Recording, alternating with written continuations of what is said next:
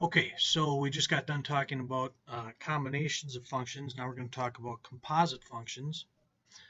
And what, what it means to be a composite function is that one function is embedded within another function. And there's two different ways, actually three different ways of notating a composite function. I have two of them written there with the g of x inside the f parenthesis, so it's f of g of x. Or you can use that little circle symbol right there, and that is pronounced the same thing, f of g of x. However, you can also just write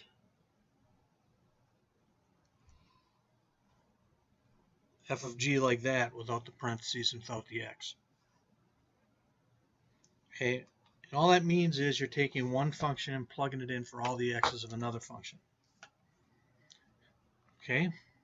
So let's uh, try a couple examples here. We have f of x and g of x. And if we're looking for f of g of x, we're going to take the entire g of x form uh, equation and plug it into every x that's in f of x. So f of g will be 3 and then the g of x function plus 4 and then you'd simplify. Okay, that's all that you're, you're doing on a composite function. Plugging one in for every x in the other. All right, that's f of g. What if we were to try g of f because they're not the same?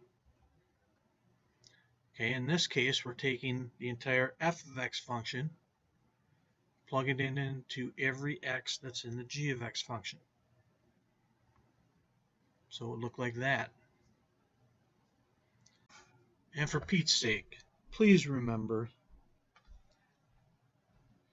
that 3x plus 4 squared is 3x plus 4 times 3x plus 4. It's not 9x squared plus 16, the single most common mistake in all of mathematics history. Get it right.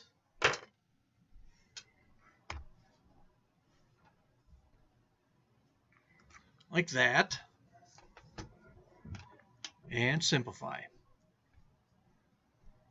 All right, so we took f of g, we took g of f, believe it or not, you can actually embed a function within itself, say f of f.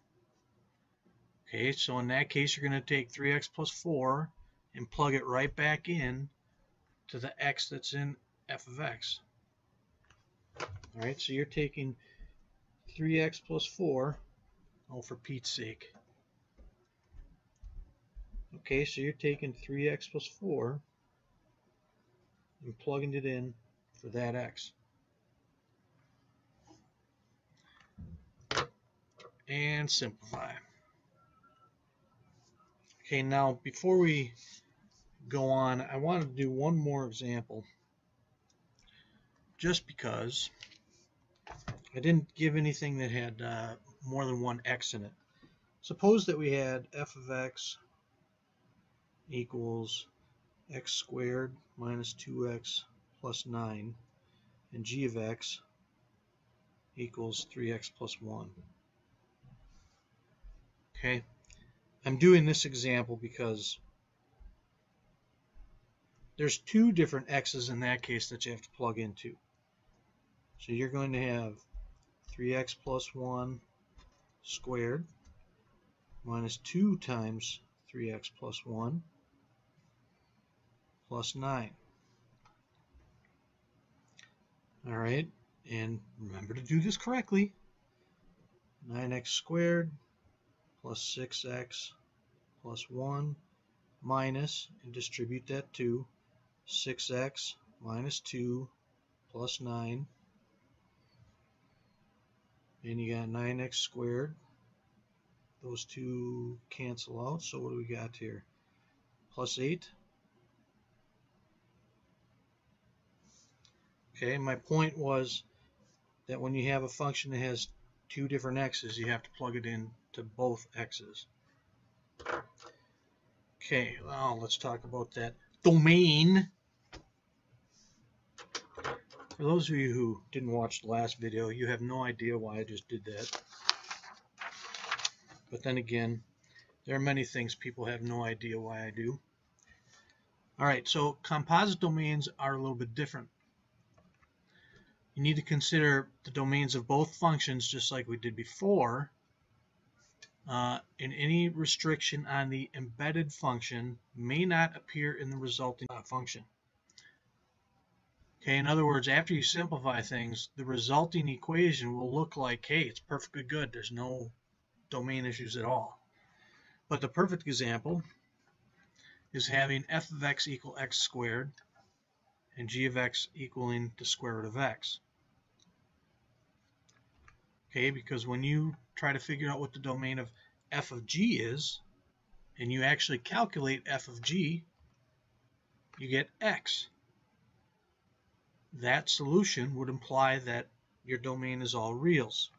But that's not true because g of x did not have a domain of all reals. g of x was already limited. All right, so if the embedded function, the one, the one that goes into the other one, has a domain issue, you need to remember that, okay? The resulting domain of f of g is x has to be greater than or equal to 0, just like it was for g of x. So keep that in mind. All right, let's try this. What is the domain of f of g? So there's a couple things we need to keep in mind.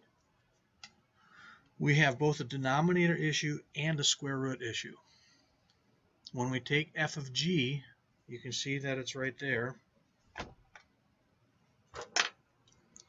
Okay, when we simplify, this is what we get. And we again, we have a square root issue and a, a denominator issue. All right, we are still going to have the restriction that we had for g of x, which is has to be greater than or equal to 0. But now we also have to worry about the, the denominator that resulted. And we have to set the denominator not equal to 0. And that results in, that means x cannot equal plus or minus 1. Well, x can already not equal negative 1. It has to be greater than 0. So our result would be uh, all reals such that x is greater than or equal to 0 and x cannot equal 1. Yeah, there it is. Now it's official. Now it's actually text instead of handwriting, so it's official. Um, that's all you need to know about doing composite functions. Have fun. Adios.